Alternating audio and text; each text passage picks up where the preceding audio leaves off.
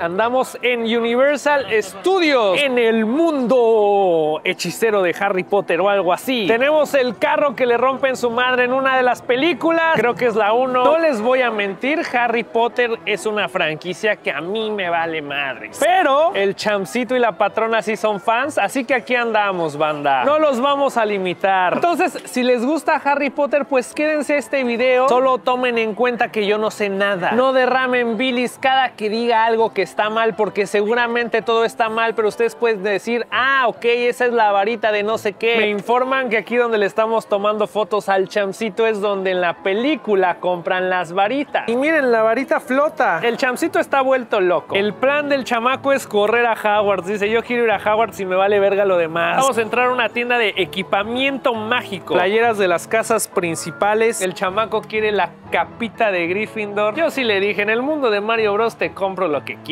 Pero una vez que estemos en la tierra del Harry Potter, dígale a su jefa que es la que le inculcó eso. Aunque ahorita que está por allá, aquí entre nos, puede que sí le compre algo. Depende de qué tanto lo vea emocionado por algo. ¿Qué? ¿La capa vale 1800? No, vale... 15 mil yens. Valen 6000 yens. La chiquita, la de adulto vale 15 mil. Pero no es un adulto, ¿sí? Pero sí. ok, ok. Tenemos la varita de Harry Potter. Cuesta 1800 la capa de adulto. Y están en un dilema porque hay como talla de niños y de adultos. La de niños le queda chiquita y la de adultos le queda grande. Tremendo el chamcito. ¡Ay, la patrona viene acá! Viene baruda. O sea, no solo le va a comprar al chamcito, sino se va a comprar a ella. Le voy a pedir a ver si me compran algo. No, me mandaron a la... Pues no, al parecer al único que no le van a comprar nada es a mí.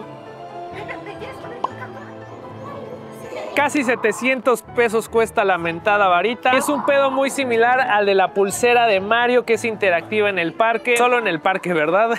Pero al parecer aquí pueden hacer magia con las varitas, entonces vamos a ver. Esta es la varita de Harry Potter y pues ya trae todo el outfit de mago. Viene con un mapa del parque y dependiendo del área en la que estés es el hechizo que puedes hacer y viene el movimiento. Por acá tenemos Hogwarts, la escuela de magos. Aquí tenemos el espejo que te enseña lo que más quieres. Seguro les va a salir un Pues el juego de Hogwarts, la neta, está bien chingón, banda. Lo que sea de cada quien, aunque no hayas visto las películas bien, está perro. Esta es una de las zonas donde puedes hacer magia con las varitas interactivas. Tú haces los encantamientos y a mi carnana no le sale. Ventus. No, pues a mí tampoco me sale.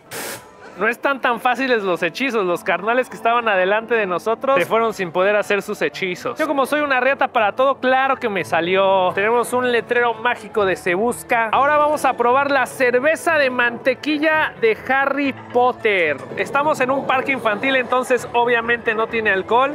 Mm. Oye, está muy bueno esto, ¿eh? Desde que te lo estás acercando te sabe a mantequilla la espumita y luego es como un refresquito de algún otro sabor. La neta está buena, banda. Satisfecho con la compra, 100% recomendada. Pues ya mamamos, banda, ya nos están bateando de los juegos. Ese fue el mundo encantado de Harry Potter, el Wizarding World. La neta es que me la pasé bien en la hora y cacho que estuvimos aquí. Y eso que yo no soy fan, pero pues hay que apoyar al chamaco en lo que le gusta. La verdad es que de verlos tan feliz, pues también me pone a mí. Entonces, 100% recomendado por el champ. Y recuerden, ¿por qué ser buenos cuando pueden ser tremendos?